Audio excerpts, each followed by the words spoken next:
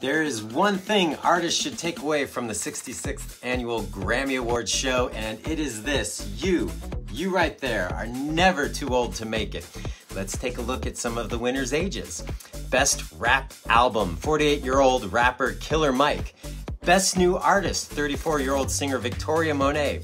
Songwriter of the Year, 41 year old Theron Thomas. Producer of the Year, 39 year old Jack Antonoff. Best R&B song, 64-year-old singer-songwriter Babyface contributed on that song.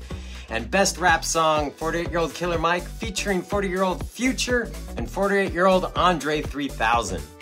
In an industry that is historically known for being harder to break into as we age, these are trends that are very positive. Music is not like the sporting world where athletes tend to peak physically in their 20s at that time, most musicians are just starting to get good.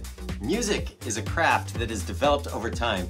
You not only continue to get better with age, but you also gain experience, maturity, and perspective that the world needs in its art. So keep pushing forward as you never get old to make it. And definitely tag an artist that needs to hear this.